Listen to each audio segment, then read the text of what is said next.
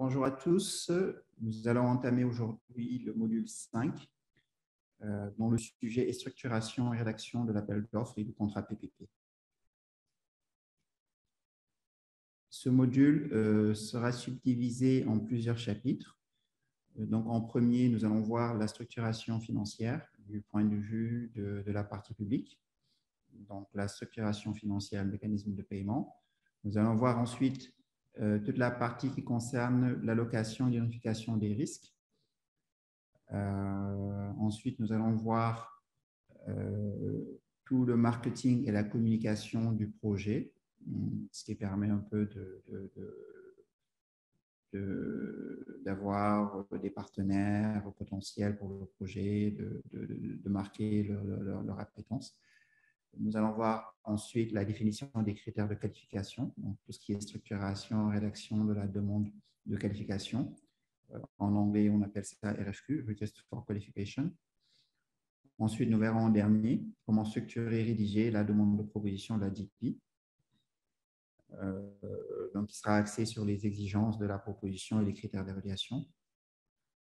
Et nous regarderons ensuite euh, toute la partie concernant la définition et la rédaction des termes commerciaux et des dispositions contractuelles du contrat.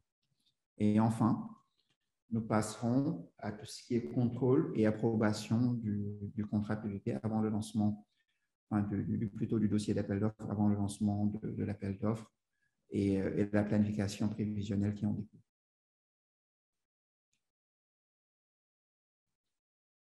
Alors, l'objectif principal de, la structuration d'un contrat PPP euh, et, de s'assurer en fait que le, processus de contractualisation du PPP euh, soit couronné de, succès en mettant en place un, processus solide euh, qui permettra aujourd'hui d'avoir les niveaux de service attendus et souhaités et un bon rapport qualité-prix parce que c'est un peu le principe euh, d'un appel à concurrence et, le principe du processus d'un marché compétitif qui permet d'avoir la meilleure offre aussi bien d'un point de vue technique et ensuite d'un point de vue euh, euh, coût, en sachant que les critères de notation peuvent être différents, hein, mais, globalement, l'idée, c'est de faire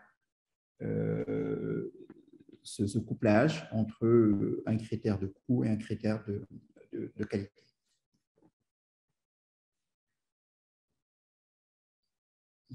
Si on, si on, se base un peu sur la référence PPP de l'APMG, qui, qui, est aujourd'hui la référence qui est utilisée pour élaborer les, contenus de, ce cours, structurer un PPP signifie attribuer des responsabilités, des droits et des risques à chaque partie du contrat. Donc, quand on parle de structuration, on peut identifier trois types de structuration. Donc, le premier type est la structuration financière.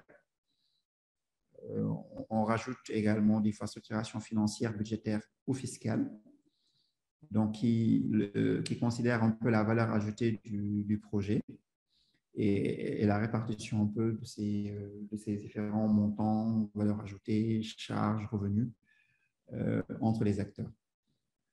On va parler ensuite de la structuration des risques, donc attribution ou répartition des risques entre les parties, en sachant que les risques aussi sont loués euh, d'une manière ou d'une autre à la structuration financière, parce que globalement, euh, selon le risque que l'on porte, il y aura forcément un coût associé au portage de ce risque.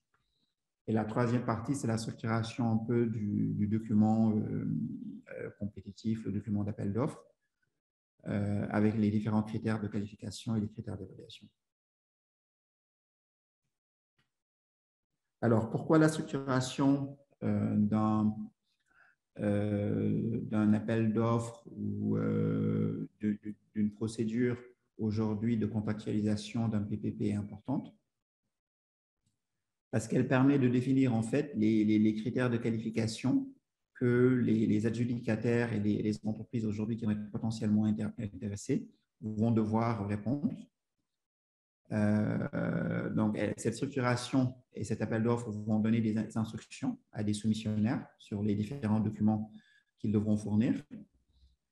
Euh, cette structuration également doit permettre de garantir la transparence du processus, parce que si un processus est transparent, ben, les, soumissionnaires au préalable doivent savoir, ben, voici les différentes étapes sur lesquelles ils vont devoir passer, voici les, différents types de documents qu'ils devront fournir, et voici les différents critères sur lesquels ils seront évalués.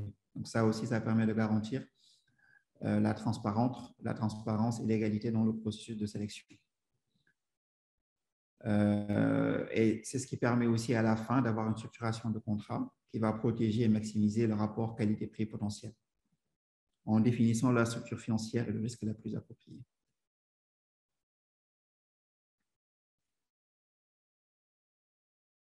Alors, du point de vue du public, euh, ce qu'il faut savoir, c'est qu'en général, quand on parle de, structuration financière, euh, aujourd'hui, il y a beaucoup d'acteurs, dans un PPP, plusieurs acteurs aujourd'hui sont, engagés pour, mettre en œuvre un PPP, que ce soit la partie publique, publique que ce soit la partie privée, que ce soit les bailleurs potentiels ou DFI, les, les, les, les banques d'investissement, les, banques de projets qui, vont, euh, financer potentiellement la dette ou, l'equity ou, le, capital du projet.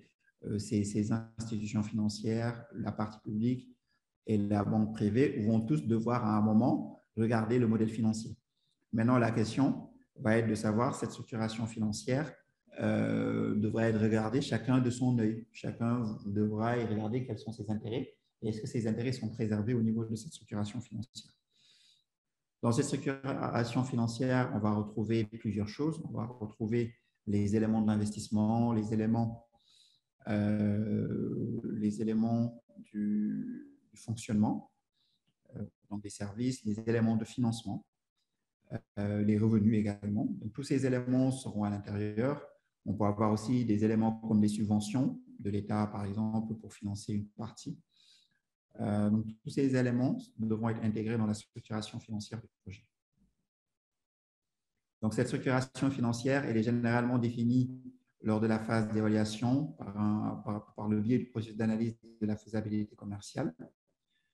Euh, en général, si, on est dans un processus compétitif, euh, bah, les, soumissionnaires viendront avec une offre technique et financière qui va dire, par exemple, je dois vous réaliser euh, je ne sais pas, un aéroport, ben, voici moi mon plan. Euh, je pense que je vais le réaliser avec un budget de, X et un calendrier de travaux sur X mois. Euh, et vous allez pouvoir justement comparer ces différentes offres techniques et financières. Et cette structuration financière prendra cette CAPEX. S'ils doivent tirer les revenus de l'exploitation de l'aéroport, par exemple, ben, cette exploitation de l'aéroport va engendrer des coûts opérationnels. Donc, ils viendront aussi avec des coûts opérationnels. Ils viendront aussi avec des revenus euh, qui seront collectés d'une manière ou d'une autre. Euh, si c'est un aéroport, on peut imaginer que ça va être une taxe, une RDIA, comme ça l'est dans, certains cas ici, ou une autre taxe hein, euh, financée par, par l'État ou directement prélevée sur les usagers. Donc voilà, donc tout ça devra être intégré au niveau de la structure financière. Euh, donc, c'est important aussi de rappeler que cette structuration financière euh, est un processus itératif avec un scénario de base initial qui va être euh, retourné dans plusieurs, plusieurs fois en intégrant des, hypothèses de, variation, des tests de sensibilité par rapport à un cas de base. Voilà, donc il y a, plusieurs itérations qui, vont être opérées euh, à ce modèle financier.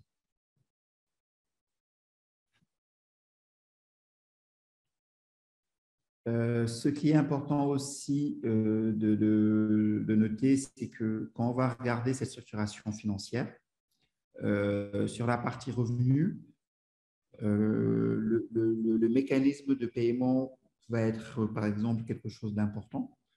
si c'est un paiement, par exemple, que vous prélevez des usagers ou c'est un paiement que vous prélevez de la partie publique, ce n'est pas forcément le même type de risque. Par exemple, je donne un exemple. Euh, sur euh, si vous construisez un hôpital public, bah, peut-être que l'État va payer un loyer à l'opérateur de l'hôpital. Si vous construisez une autoroute, vous allez peut-être prélever un péage. Donc, dans l'un cas, c'est un, loyer public qui est payé peut-être par, euh, je sais pas, par le ministère de la Santé, par exemple, via le budget de l'État. dans l'autre cas de figure, c'est transparent pour l'État, donc ça ne va pas impacter sa loi de finances annuelle. Donc, ça va plutôt être prélevé, par exemple, sur les usagers de l'autoroute. Donc voilà, maintenant, selon le, type d'infrastructure, il faudra regarder le mécanisme de paiement. Il faudra déterminer le niveau du tarif, donc qui fixe le tarif. Euh, donc dans le cadre de ces contrats PPP, ça peut être un tarif qui va être proposé par les différents soumissionnaires. Ça peut être un tarif fixé par l'État qui dit que moi, je veux, je ne sais pas, moi, hein, je veux qu'une autoroute, euh, mais le prix que je veux, c'est 1000 francs CFA, par exemple, euh, ou je veux construire un, comment dirais-je, un, hôpital, mais le coût de, la prestation moyenne euh, pour une consultation, je veux qu'il soit de, de 5 000 francs CFA. Voilà, donc le tarif aujourd'hui, il peut être fixé par, euh, l'une des parties. Euh, l'indexation aussi est important parce que l'indexation, on va retrouver ce principe souvent sur les marchés de travaux. l'indexation va permettre, par exemple, de dire, euh, je vous ai fait une offre, je ne sais pas moi, je donne un exemple, en 2020. Euh, quand j'ai fait l'offre, le, le, je ne sais pas moi, la tonne de ciment, elle était à 70 000. Euh, on a mis deux ans à négocier le contrat.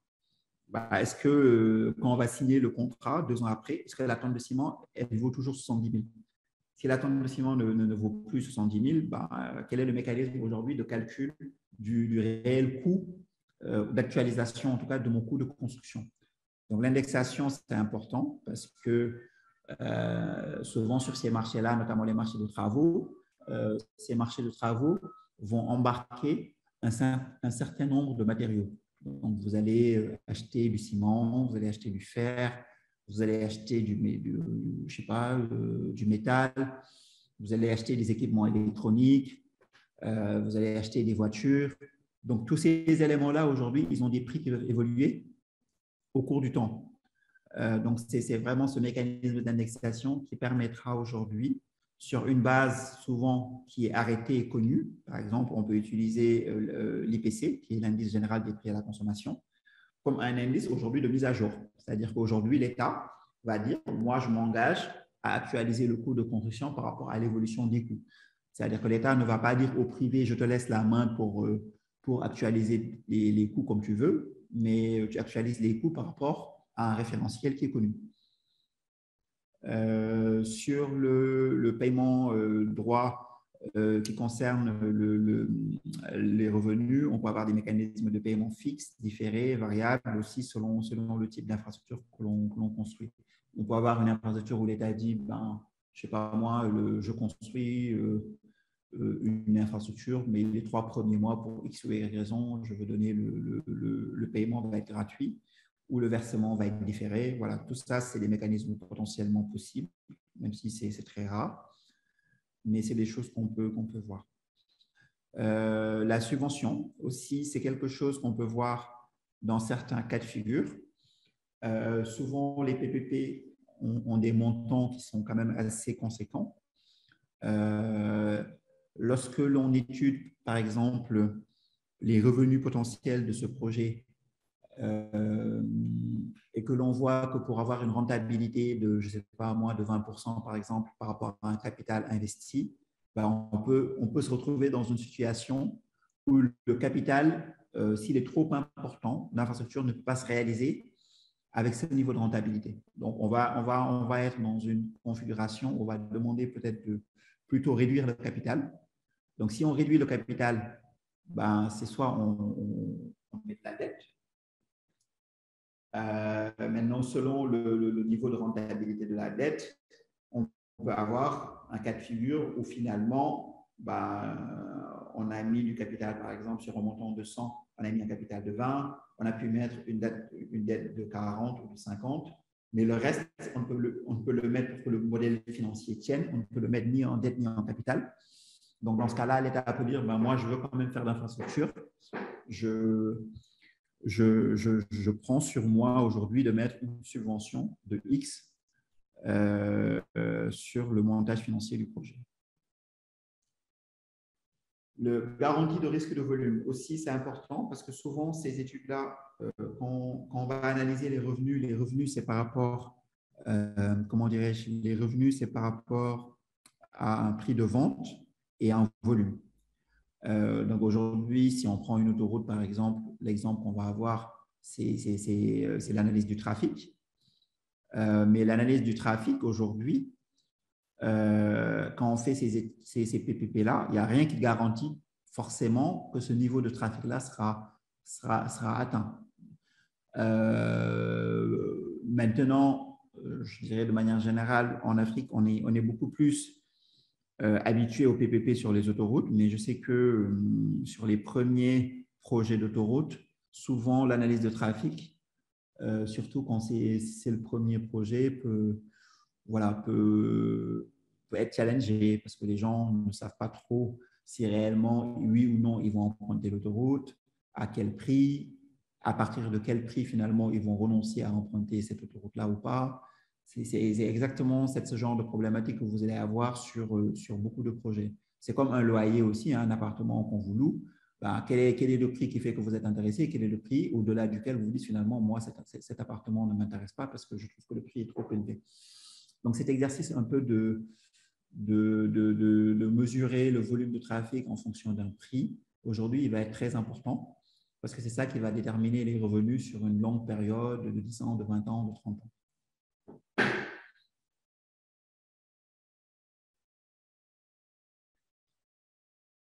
Donc, on peut avoir aussi l'exemple dans d'autres types d'infrastructures, hein, euh, notamment industrielles, euh, par exemple, quand on parle d'accord ventes d'usine, c'est par rapport peut-être à un montant de production, un volume de production et un volume de paiement correspondant justement à ce volume de production.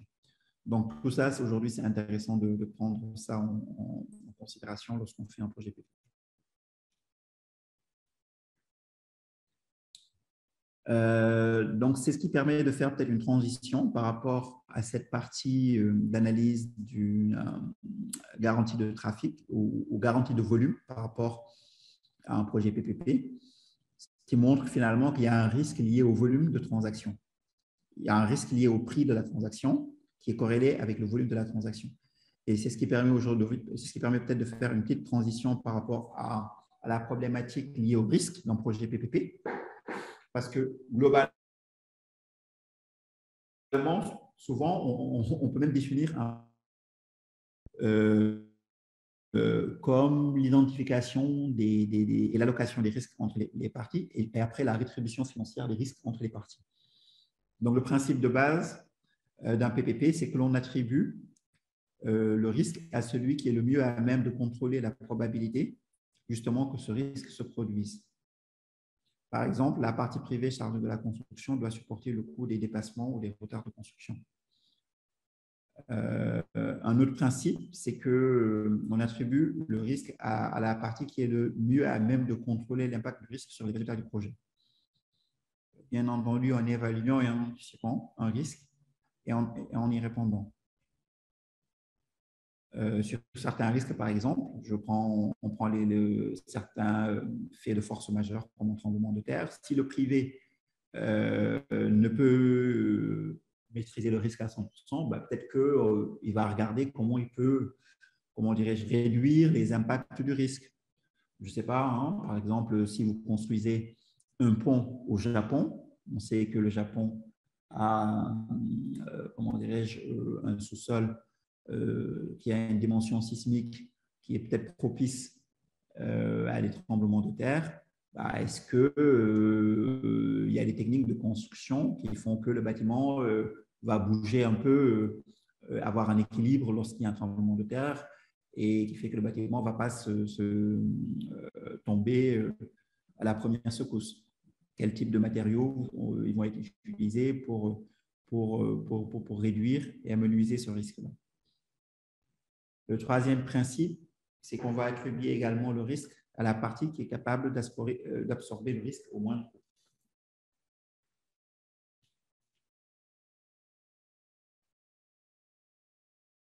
Euh, donc ça aussi, ça va, des fois aussi, ça va euh, être pris en considération sur la répartition du risque ou l'affectation du risque à une autre partie.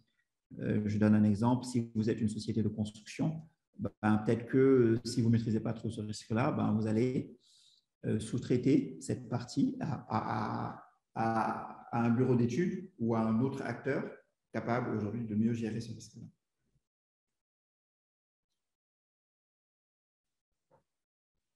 Donc, pour, pour, identifier ces risques, souvent on utilise un outil qu'on appelle une matrice des risques qui, qui va être développée.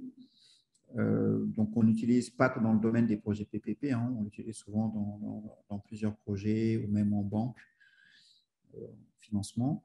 Mais globalement, ce que cette matrice de risque va faire, c'est de, catégoriser les risques, de décrire le risque, pour chaque risque d'identifier les effets et les conséquences du risque, et d'identifier par rapport justement à ce risque, les effets et conséquences, de voir quelles sont les mesures d'atténuation qu'on peut mettre en place, et ensuite de répartir le risque euh, aux différentes parties euh, qui, qui, vont être euh, aujourd'hui à même de, supporter ce risque-là. Donc, c'est cette matrice des risques qui, permet un peu d'organiser globalement tout le processus de gestion de, de, ces risques et la décision qu'il faut prendre par rapport à chaque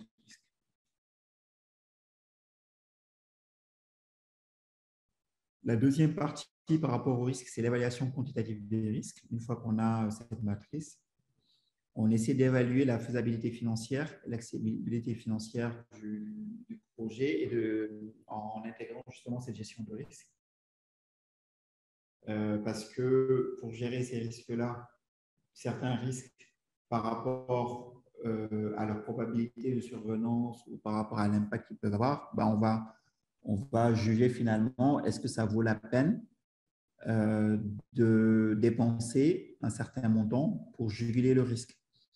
Si, le risque a une probabilité d'occurrence faible, peut-être qu'on va prendre le risque que, même si le risque survienne, ben finalement, je ne sais pas, on a un contrat d'assurance, on a une garantie qui permet aujourd'hui de répondre à cela.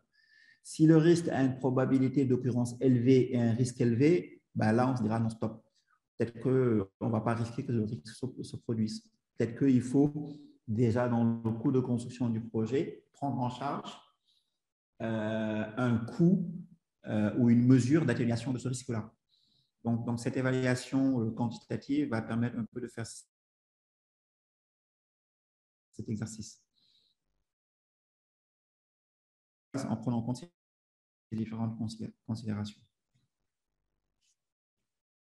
Après cette évaluation quantitative, on peut être aussi dans un cas où on peut faire euh, une évaluation qui va être qualitative. Euh, c'est un peu ce dont je parlais tout à l'heure en parlant de, probabilité d'occurrence, c'est-à-dire qu'un risque va être évalué si l'impact est monétaire, il va être évalué. Euh, par rapport à la gravité qu'elle peut avoir. On va plutôt évaluer la gravité de ce risque-là et évaluer après le montant financier. Mais on peut aussi évaluer euh, la probabilité d'occurrence ou de vraisemblance, qui va être plutôt un critère qualitatif. Euh, donc, au niveau de la matrice du risque, ben, vous aurez justement ces deux critères-là qui permettront d'avoir les risques les plus importants des risques les moins importants. Donc, ce, que ce calcul probabiliste va permettre justement de, savoir quelle est la probabilité de, ou la vraisemblance que le risque se produise. Une fois qu'on a évalué nos risques, euh, globalement, on a un peu une, idée euh, du projet, des impacts financiers. Euh, ce qu'on peut essayer de voir après, c'est de voir par rapport à notre projet qu'on est en train de structurer, par rapport à notre appel d'offres, de voir quelle est la, stratégie de, de, de, marketing de notre projet, de, communication, de lancement, parce qu'aujourd'hui, euh, globalement, sur ces très très gros projets, en général, vous cherchez des, big players, donc des entreprises qui ont une capacité aussi bien technique que financière. Ces entreprises qui ont une grosse capacité technique et financière, potentiellement, ils peuvent avoir des marchés quasiment dans, tous les coins du monde. Euh, donc, si effectivement c'est justifié d'aller faire appel à ces entreprises-là pour X ou Y raisons, ça peut être des raisons techniques ou euh, des raisons euh, financières, euh, la question qui va se poser, c'est comment euh, tester le marché et de savoir finalement est-ce qu'il y a un appétit pour votre projet. Donc, pendant la phase de structuration, on peut essayer aujourd'hui d'avoir ce premier test du marché et de recueillir les premières intentions par rapport aux, investisseurs, de prendre en compte leurs préoccupations également, ensuite qui pourront être traduits dans les différents documents d'appel d'offres. Euh, souvent, on peut avoir une phase de dialogue dans certaines procédures d'appel d'offres. Euh, si vous avez une phase de dialogue avec les, soumissionnaires, dans, ce cas, cette phase de test de marché n'est pas forcément obligatoire.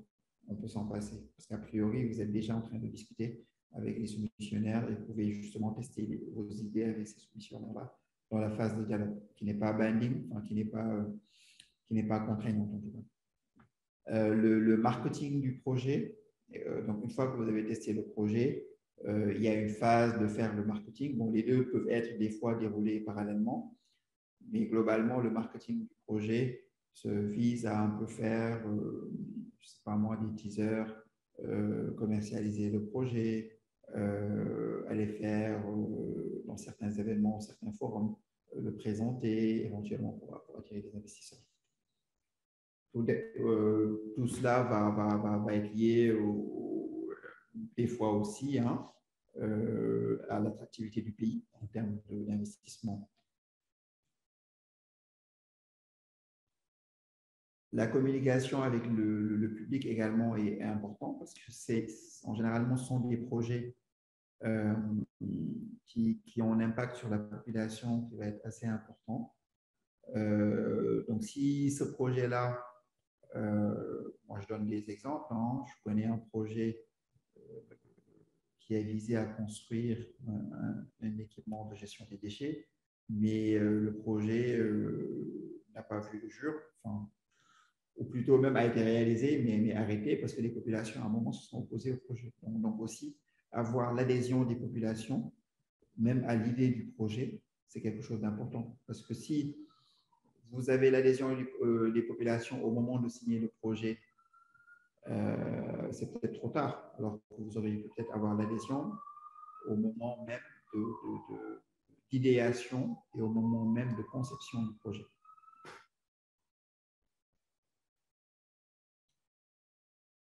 Donc, plusieurs stratégies peuvent être euh, déroulées dans ce cadre-là. Hein. Ça peut être des stratégies de, dialogue avec la population, vous pouvez organiser euh, des audiences publiques. Euh, il y a un certain nombre de mécanismes qui sont mis en place pour avoir l'adhésion des populations dans ce cadre.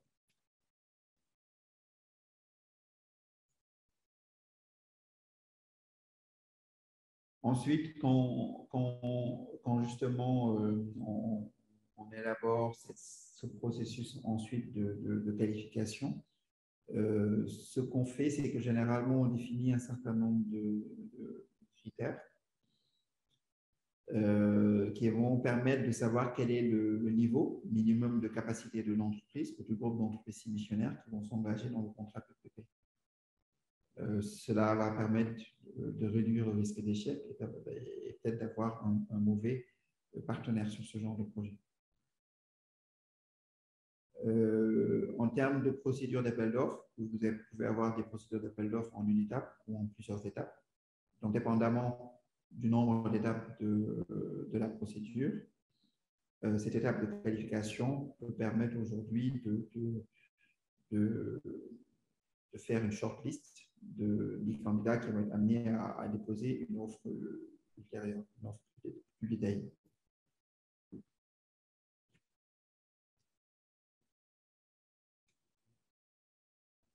Globalement, les critères de qualification, aujourd'hui, on, peut les regrouper en trois grandes catégories. Donc, il y a le critère administratif juridique. Donc, ce critère euh, va regrouper toutes les conditions juridiques qui doivent être satisfaites pour qu'un submissionnaire puisse soumettre une offre, conformément aux réglementations communes locales du marché du pays. Euh, on peut avoir un critère de capacité financière et économique, donc, garantir que l'entreprise, le consortium candidat au projet présente une situation financière saine et également en mesure de lever des fonds, par exemple. Euh, capacité et expérience technique également, c'est quelque chose de très important parce que Souvent, c'est le premier même critère parce que, en général, vous faites appel à un partenaire externe pour un PPP.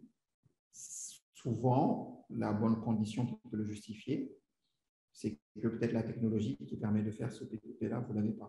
Et que vous voulez justement profiter de ce partenaire pour acquérir cette technologie et, dérouler un projet. Cette demande de proposition ensuite euh, va être rédigée par une, par une entité, souvent c'est le gouvernement, soit un ministère, soit une agence du gouvernement, qui va chercher à avoir des offres de vendeurs potentiels donc, cette demande de proposition va régir un peu euh, tous les critères, les exigences de l'offre, les critères d'évaluation, les différentes questions euh, du gouvernement. Euh, il va détailler les processus d'appel d'offres, le processus d'émission des questions ou des, plaintes, le processus de rencontre individuelle dans le, processus de, de négociation du contrat la période de validité, les conditions préalables à la signature du contrat et du closing financier également. D'autres exigences spécifiques également peuvent avoir lieu dans ce genre de contrat. Donc, euh, donc c'est, peut-être une date de limite de soumission de la proposition. Donc, euh, il, faut, il faut bien entendu dans ce cas donner suffisamment de temps euh, au soumissionnaire pour lui permettre de préparer une offre de qualité date de validité de la proposition, parce que vous faites une offre comme ça aussi, elle n'est pas ouverte pour permettre à n'importe qui de venir six mois après de déposer une offre. Votre, offre, justement, vous, l'encadrez dans les, dans les détails, vous encadrez les détails dans lesquels on peut soumettre une proposition et les détails dans lesquels le soumissionnaire peut soumettre euh, son offre. Vous détaillez également les différents types de documents, le, le format du modèle financier, tous ces éléments-là vont, constituer les, exigences spécifiques de ce type de contrat.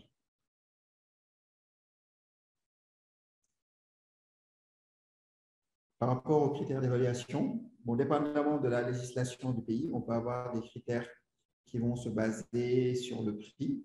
On peut avoir euh, des critères qui vont se baser sur le prix, mais en généralement, c'est des critères euh, qu'on utilise une fois qu'on a identifié des, partenaires qui, ont déjà une autre technique minimale, c'est-à-dire qu'on sait que techniquement, je ne sais pas, l'entreprise A, B et C ont les capacités. Donc, on va consulter uniquement l'entreprise A, B et C, mais quand on va les consulter, on les consulte uniquement sur la base de prix. Un autre critère aujourd'hui être non, non, finalement, on, on, les challenge aussi bien sur le prix et la qualité. Donc, on leur demande de faire une offre technique et financière. Donc tout ça, dépendamment euh, de la taille du projet PPP, de la nature, de la législation du PPI, est-ce qu'il y a une loi PPP ou pas? On peut, voir ces, ces, différences en termes de critères d'évaluation.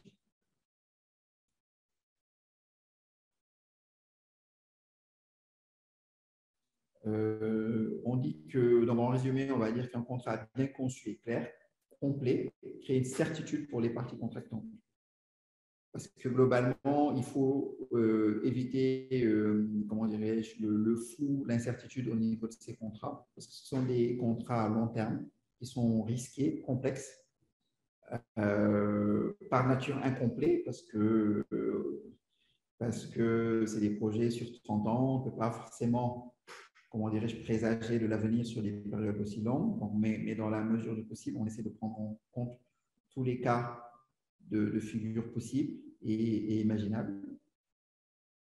Donc c'est pour ça que le contrat des PPP doit être flexible pour permettre de faire face aux changements de circonstances dans la mesure du possible, plutôt que d'entraîner une renégociation ou une résiliation.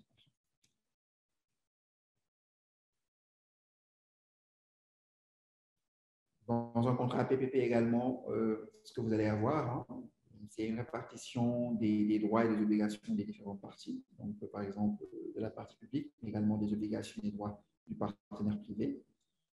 Euh, vous allez avoir des paragraphes qui les risques, changements et litiges. Euh, donc, par exemple, quand on dit risque, changement et litige, un changement, par exemple, ça va être, euh, par exemple, sur un contrat d'autoroute ou sur un contrat d'infrastructure, aéroport ou autre, on va parler de clause paysage. C'est que par exemple, vous avez fait des études de trafic, je donne un exemple, vous avez fait des études de trafic sur, une, sur un projet de route. si dix ans après le projet, vous venez construire une route concurrente, ben là, vous avez changé les hypothèses de, rémunération du partenaire privé. Donc, donc, lui, si ce n'est pas sécurisé pour prendre en charge ces différents cas de figure, euh, ça va être compliqué. Après, on ne peut pas euh, interdire à un État de faire des projets, mais euh, un projet PPP qui engage de, très gros montants sur, sur un nombre d'années qui est quand même assez important, on parle de 20, 30 ans, bah, il va être important de dire, bah, si vous faites tel ou tel projet, bah, écoutez, ça va impacter le modèle financier. Bah, peut-être que dans ce cas-là, il faudra qu'on qu'on s'assoie autour d'une table et qu'on rediscute de telle ou telle clause. Euh, quelles sont les dispositions financières à prendre. Donc, Dans le cadre d'un contrat PPP, tous ces aspects commerciaux et supplémentaires doivent être pris en compte pour euh, savoir, lors de la survenance d'un événement de ce genre, ben, comment, on les gère. Quels sont les systèmes de pénalité, quels sont euh, les autres systèmes peut-être de sanctions qu'il peut y avoir dans le cadre de projets PPP. S'il y a un litige, comment ce litige va être résolu? Est-ce qu'il va être résolu par rapport à une réglementation locale euh, Si c'est un financement international, est-ce qu'il y a une procédure d'escalade au niveau d'une chambre internationale ou pas? Voilà, tout ce genre d'aspects devront être intégrés bien entendu, dans les contrats publics. Avant de lancer l'appel d'offres également, euh, un certain nombre d'éléments doivent être réalisés euh, liés aux, approbations et aux validations nécessaires, euh, dépendamment de, de, la procédure ou de la réglementation nationale. Si vous avez une loi PPP nationale qui demande, je ne sais pas, une validation du dossier d'appel d'offres au niveau d'une unité PPP, par exemple, ou, euh, ou de l'Agence de régulation des marchés, bah, il faudra obtenir toutes ces, toutes ces approbations. Si d'un point de vue foncier, l'emprise ou ce genre de choses, il faut une, autorisation, une validation, euh, je ne sais pas moi, du ministère de l'Urbanisme, par exemple, bah, il faudra en tout cas toutes ces, ces, autorisations que vous les ayez. Donc voilà, il y a un certain nombre des fois de préalables qui peuvent, d'autorisations qui peuvent être nécessaires avant de pouvoir lancer ces, procédures.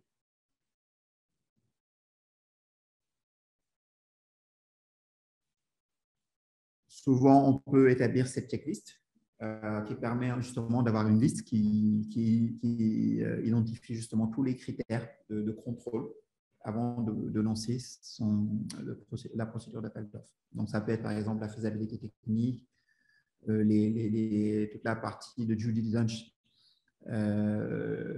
technique et juridique, une analyse coût-avantage à réaliser, par exemple, si c'est nécessaire, la faisabilité commerciale, l'accessibilité financière du projet, rapport qualité-prix. Voilà, on peut identifier ces critères propres d'un projet à l'autre qui peuvent dire ben, finalement on est prévu pour lancer l'appel d'offres. Euh, là, on a un exemple, par exemple, sur un projet de, critères qui ont, été, euh, qui ont été définis. Euh, donc, de critères préalables à la réussite d'un appel d'offres de PPP. L'engagement politique, souvent, bon, celui-là, on peut, on, peut, on, peut, le valider facilement. Le, cadre législatif qui permet de lancer des projets PPP également. donc, donc, tous ces processus également aujourd'hui permettent de, de, prouver que le, que le gouvernement à réaliser euh, ben, toutes les étapes qu'il devait réaliser aujourd'hui pour être en mesure de, lancer son projet. Euh, merci à tous euh, et d'avoir suivi ce module. Et on vous donne rendez-vous au module 6. Au revoir.